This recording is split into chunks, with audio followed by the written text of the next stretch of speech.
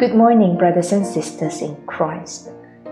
Today's devotion is taken from The Desire of Ages by Ellen G. White, chapter 65, page 592. After a season, the priests and rulers ventured back to the temple. When the panic had abated, they were seized with anxiety to know what would be the next movement of Jesus. They expected him to take the throne of David. Quietly returning to the temple, they heard the voices of men, women, and children praising God. Upon entering, they stood transfixed before the wonderful scene.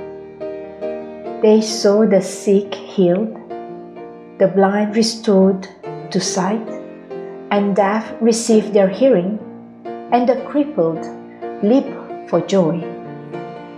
The children were foremost in the rejoicing. Jesus had healed their maladies. He had clasped them in his arms, received their kisses of grateful affection, and some of them had fallen asleep upon his breast as he was teaching the people. Now, with glad voices, the children sounded his praise. They repeated the hosannas of the day before and waved palm branches triumphantly before the Savior. The temple echoed and re echoed with their acclamations Blessed be he that cometh in the name of the Lord. Behold, thy King cometh unto thee. He is just and having salvation. Psalm 118, verse 26, and Zechariah chapter 9, verse 9. Hosanna to the Son of David. How much time do you spend in praising God for all that He has done for you? Let's pray.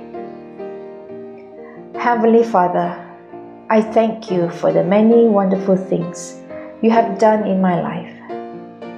Thank you for all your blessings, providences, and protection in my life.